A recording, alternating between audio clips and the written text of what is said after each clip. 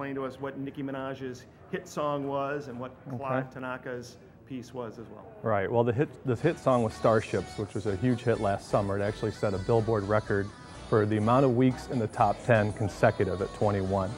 Uh, it was played in a lot of clubs. It was played online, thousands of downloads, that sort of thing. I know it And- well. Can you sing it for us? No, I cannot, unfortunately. Uh, but in comes Clive Tanaka, who is this uh, kind of underground mystery uh, electro pop artist. Um, he has a company here in Chicago, but nobody quite knows where he is because he's reclusive. His bio on his website says he's from Japan. His lawyer, uh, Chris Nero, says he's in Argentina. Uh, but meanwhile, he has this company on the west side of Chicago, uh, on the 4700 block of West Rice. That's his LLC. That's why his lawsuit was filed in Chicago yesterday.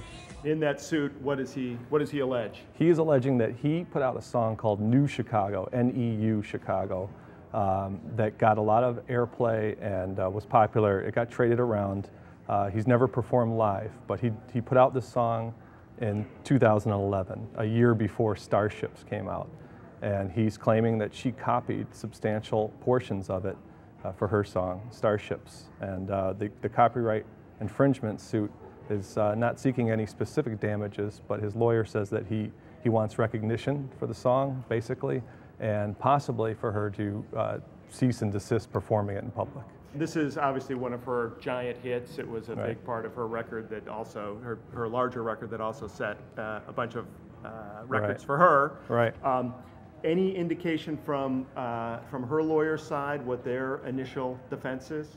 We have not heard from her uh, manager or producer or anybody that we tried to call yesterday. Uh, today I learned that there's some things blowing up with her in some kind of tweeting war between her and a rap artist in New York. Uh, so I don't know if that has anything to do with it. I she's well known for She- having feuds with other, Yes, with yeah. other uh, performers. But experts told us that, um, you know, I, I sent a copy of Clive Tanaka's uh, SoundCloud.